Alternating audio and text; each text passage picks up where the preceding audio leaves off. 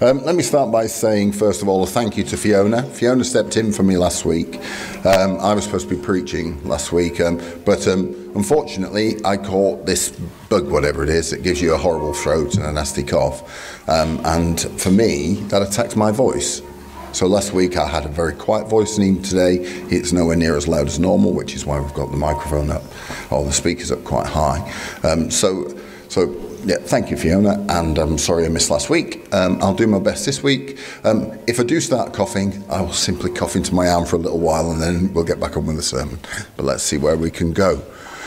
So, we are talking now about putting on Christ. This is a sermon where what we're saying, a series where we're talking about the fact that in the Sermon on the Mount in Matthew, Jesus shared with us in more depth how to live. Now, when Jesus gave the Sermon on the Mount, Jesus was relatively early in his ministry.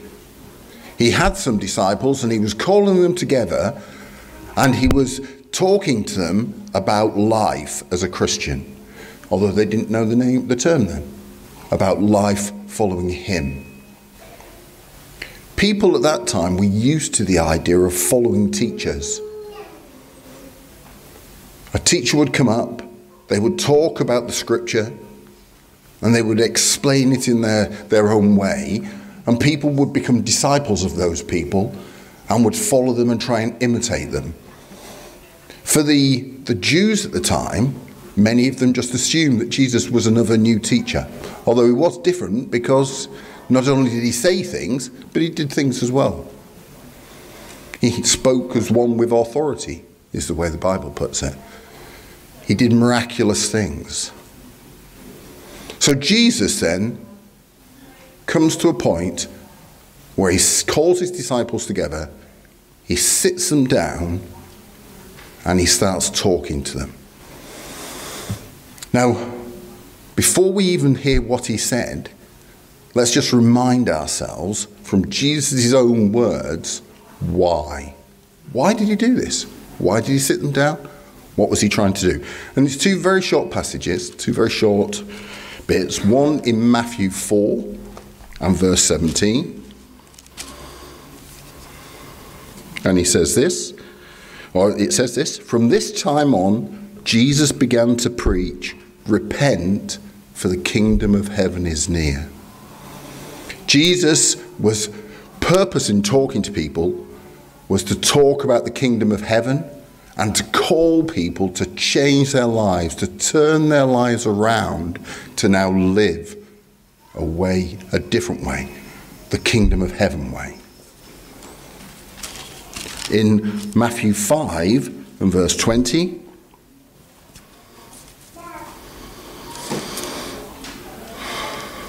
It says this, and Jesus said this to the disciples right at the beginning. So after the Beatitudes, before he went in to talking about uh, the Sermon on the Mount. For I tell you that unless your righteousness surpasses that of the Pharisees and the teachers of the law, you will certainly not enter the kingdom of heaven. Now, that was an amazing statement for him to make. Because the Jews, the people he was talking to, all believed that the way into heaven was to do what the law said. The people they looked up to as being examples of doing this were the Pharisees and the teachers of the law. These were the people that everybody held up as being the ones who knew what they were doing, that in a sense they're guaranteed to go in. We're the minions and we're desperately trying to play catch up. And Jesus says, unless your righteousness surpasses that of the Pharisees and the teachers of the law, you will certainly not enter the kingdom of heaven.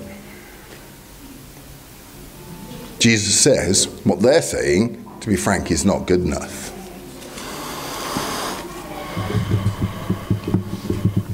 So, bearing that in mind, then, if following the law is not good enough to get you into heaven, if following the great teachers is not good enough to get you into heaven, what is Jesus asking of us? Now, can I just compare it with that video? So there we have a video where the bankers are saying, you know, we need to demonstrate our integrity. Did you notice it didn't say we need to demonstrate our integrity because it is right? They said we need to demonstrate our integrity to earn people's trust. Which, in one sense, could say, so we can con them because we're not trustworthy, but we want them to believe that we are trustworthy. So we'll try and take a test which proves I've got integrity, which is a farce in itself. Now, what we're about to read, you will understand how that fits in. So let's read. Let's read um, what Jesus said. It's a very again. It's only a short passage. So this is from Matthew chapter 5 and starting at verse 31. And let me say right at the beginning, some of this stuff is really quite punchy if you take it to heart. Jesus is not saying stuff that you can just go, ooh, that's nice. So, verse 31. It has been said. He started that way, by the way, because that's exactly what the teachers did. I say to you, this is what the scripture says, and this is what it means. So the teachers of the law went around going, I say to you, or if somebody didn't feel they were at that standard, this teacher said, this teacher says. So all the time, people being told how to interpret the Bible. So Jesus says, It has been said. Anyone who divorces his wife must give her a certificate of divorce. But I tell you that anyone who divorces his wife, except for marital unfaithfulness, causes her to become an adulteress. And anyone who marries a divorced woman commits adultery. Again, you have heard that it was said to the people long ago do not break your oath, but keep the oaths you have made to the Lord. But I tell you, do not swear at all, either by heaven, for it is God's throne, or by the earth, for it is his footstool, or by Jerusalem, for it is the city of the great king. And do not swear by your head, for you cannot make one hair white or black. Simply let your yes be yes and your no, no.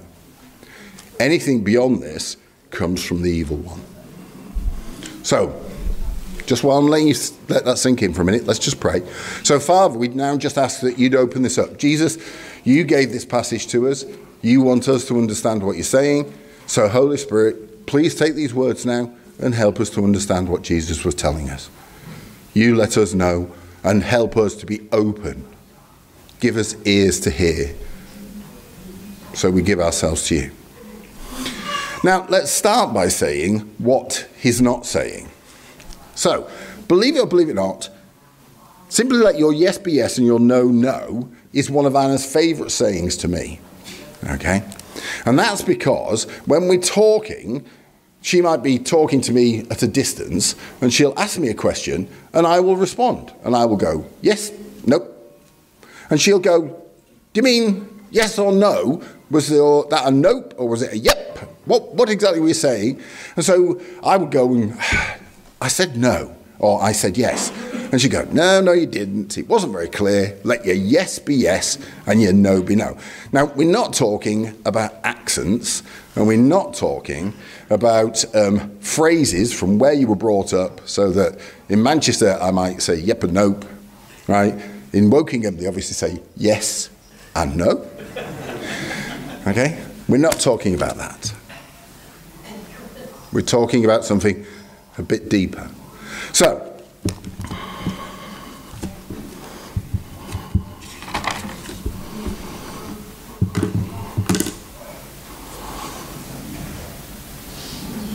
let me ask you a question and let me give you um, an admission. I break promises. I say things that at the moment I say it, I might genuinely intend. But something happens, or I remember something, or I go home and say to Anna, I've agreed this, and she goes, Well, what about? At work, sometimes people put things into my diary, sometimes I say about checking my diary, and I agree to do things, and I don't do them because I've agreed to do something else at exactly that same moment in time. So I can't do two things simultaneously. And there are actually times when I say something, and what I'm trying to do is get out of something. So somebody says something to me, and I'll agree, where actually there are times when I think, well, I don't really want to do that. But rather than say no, I fudge it. Now, I'm not proud of that, but let's be honest. And I think if we're all being honest in this room, there are similar things that we do. And I tell you, politicians do it all the time.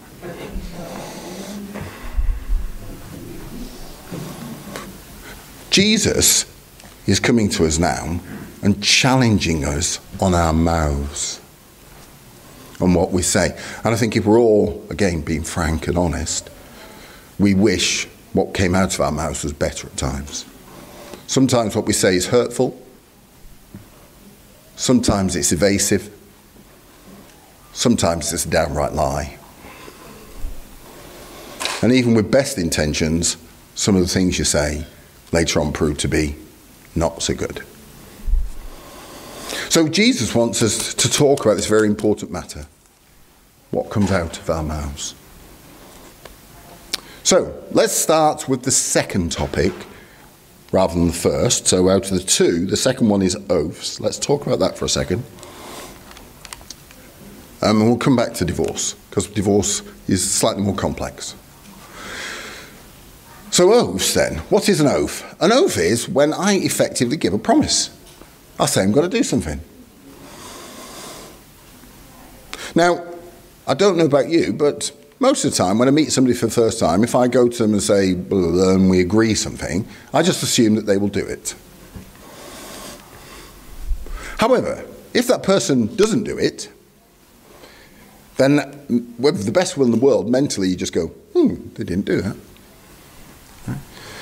If they don't do something else a second time, or they don't do something else a third time, then gradually what happens is your confidence in them actually carrying out what they say um, reduces.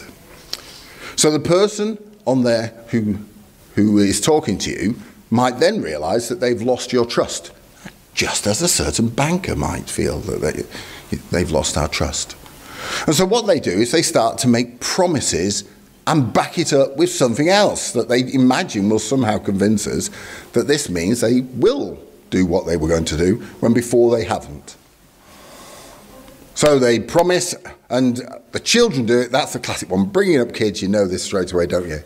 You know, they've not done their homework this time, and you say, You've got to do your homework now, and they say they don't want to do it now, but they promise they'll do it once this program's finished. They promise they'll do it after such and such. If they could just do this, they guarantee that that will happen. And of course, in reality, they might mean it for a second at that moment in time but in reality, they don't really mean it. And so, in this case, and in the common parlance of the day, people will go, I promise that on the temple. Some people nowadays might go, I promise it on the life of my children. Well, that's a lovely thing to say, isn't it? But anyway. Um, but yeah, they'll try and come up with some ridiculous statement that seems to prove beyond a shadow of doubt they'll definitely do it. Well, what Jesus is saying here is every promise you make, make sure that you, consider before you make it. It's better to say, let me think about that, I'll come back to you, I don't know if I can, than it is to promise something and then not deliver it. Because it affects how people relate to you and trust you. And he's, he's asking us to let our yes be yes. So if you say yes, you mean yes. And you don't need to say anything else. Now, for something to mean yes, it can't just come out of your mouth. It's got to be in here as well, hasn't it? And it's got to be in here as well. So if you say yes, this, this, and this must all be in harmony. Otherwise, there's a real danger that you'll say yes and do no. And that's what Jesus' challenges. Do you remember last week what Fiona was talking? uh, One of the phrases that Fiona repeated. She repeated about look at the root, not at the fruit. The fruit is I say yes and then don't do it. The root is I've got the wrong heart attitude. And Jesus is challenging them, saying, What is your heart attitude? Now, it's challenging in a culture if the culture says you have to be polite and you can't, by saying no, it's impolite. In England, we don't have that culture. You can say no. And it's right and proper. There are times to say no. You don't have to say yes all the time. Jesus doesn't say here you have to say yes all the time. He's just saying think about it. Before you make a comment, think about it. So if you promise to do something, do it. I don't think there's anybody who would find that contentious. Do what's in your heart. Do it. Say what's in your heart. Don't pretend. Don't hide. Don't say something just because you feel you should or you don't want to offend. Say what you mean, mean what you say. Easy to say, not always easy to do. Let's talk about the second one then. Let's talk about divorce. Now, divorce is, a, is talking about, obviously, marriage initially. Now, marriage is relationship. This is me with Anna, the person that we feel should be the most important person in our life. If you marry somebody on a whim, you are a fool. If you marry somebody because at this moment in time it feels like a good idea,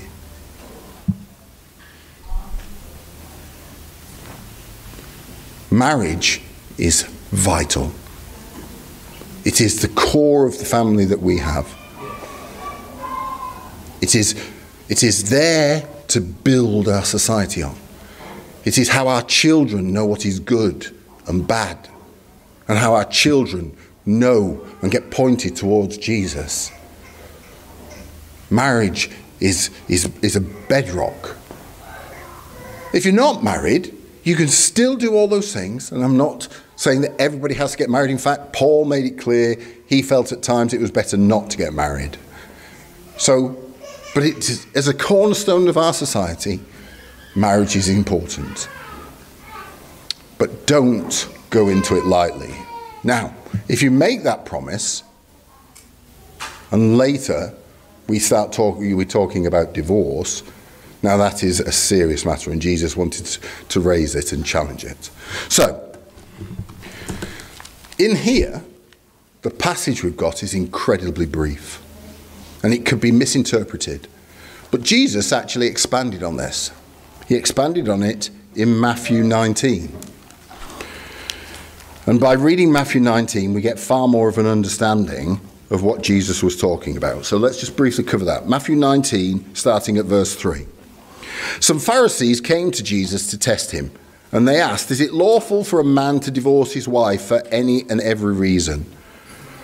Haven't you read, Jesus replied, that at the beginning of the, the, beginning the Creator made them male and female and said, For this reason, a man will leave his father and mother and be united to his wife, and the two will become one flesh. So there are no, they are no longer two, but one. Therefore, what God has joined together, let no man separate.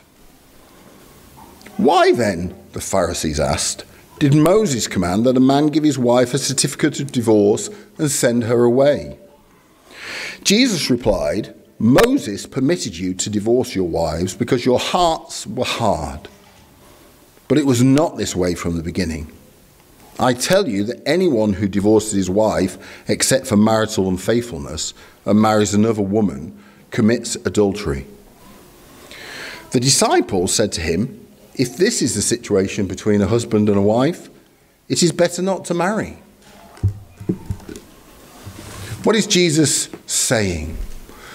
Let's talk about the society for a minute. You may or may not be aware, but in Jewish society, a man could divorce his wife, a wife could not divorce her husband. Now, she could, but only with the husband's agreement. So the husband had to actually ratify it.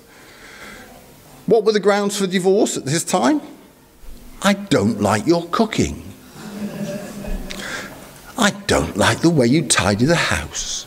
I don't like the fact that you have got a better job than me, if such a thing happened. They could divorce, the husband could divorce their wife for anything. The wife had no power. And men would do this on a whim. They would break the ultimate promise to another individual I will live with you forever until I die on the basis that they put too much salt in their dinner. How wrong is that? Jesus had to step into this situation. He had to get involved. He had to say what God's heart was. That was never, ever God's intention. Divorce is terrible.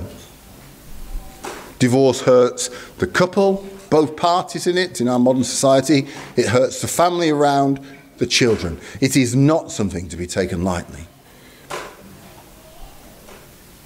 And I'm not saying here that if somebody's being abused in a marriage relationship, they have to stay there and just continue to be abused. But it is not something you do on a whim, and it is not something you do lightly. And what Jesus was saying, your heart attitude when you go into a marriage should be one of the highest standard. When you make a promise, it is a challenge because sometimes later on it becomes a bit difficult. What Jesus is saying here is when the going gets tough, the tough get going.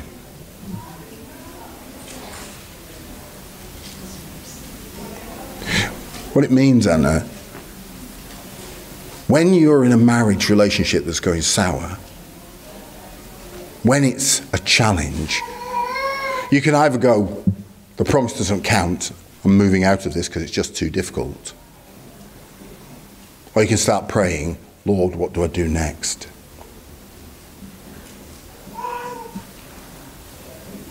Paul wrote in Romans, How do you know that you will not save your husband? Or how do you know, why, uh, husband, that you will not save your wife? How do you know how this situation is going to end? Now, it doesn't mean, it does not mean that divorce can never happen. But it does say, do everything you possibly can to avoid it because we treat our promises seriously. Paul actually says if, if a person, if the other person goes and they're not a believer, you cannot force them to stay. But as far as it lies with you, do everything you can. Sometimes even that might not be enough. But do everything you can.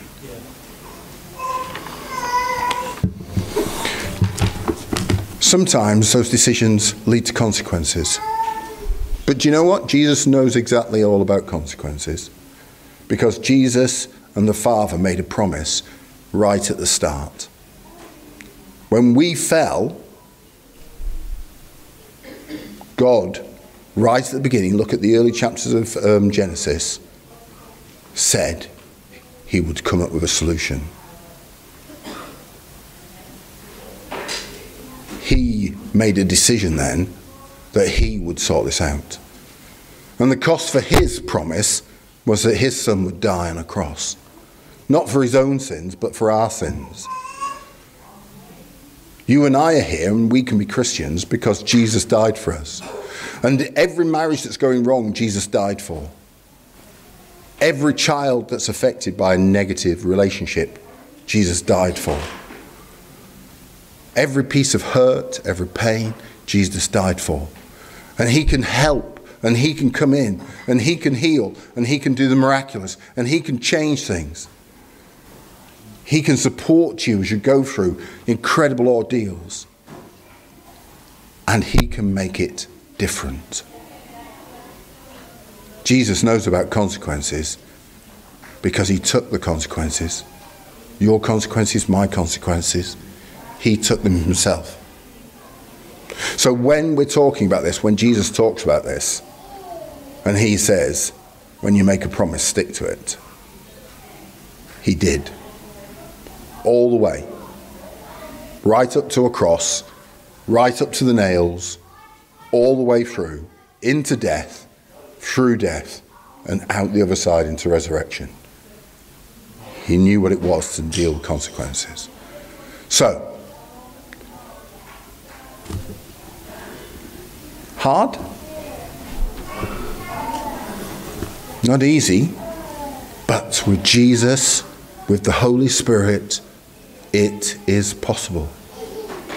And we have, we have people in our church we have people in our church who have thought about um, divorce at times, thought about leaving partners, who have prayed, who have worked, who have sacrificed, and who have come through.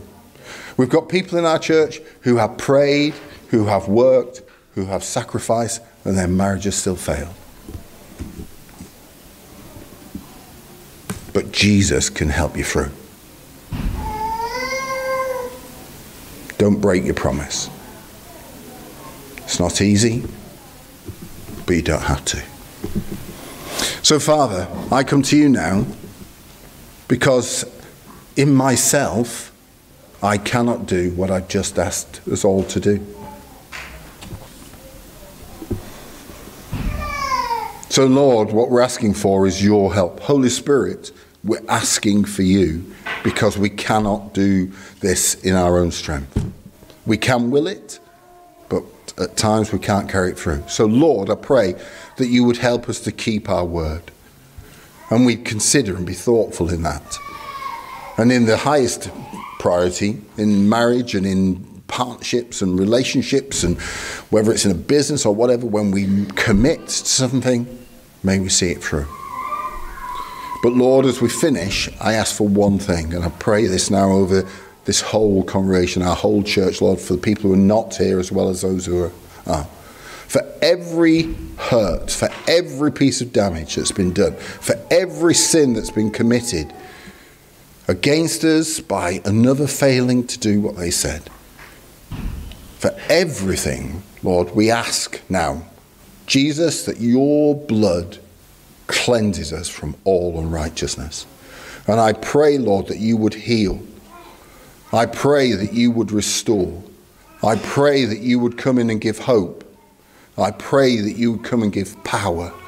I ask you, Holy Spirit, to enter into people now as they open up their hearts, as they are thinking about failed relationships, about things that have gone wrong, about challenges. Lord, I pray, Holy Spirit, heal, restore, because of Jesus and his death on the cross. Thank you. Thank you that you make a difference. Amen.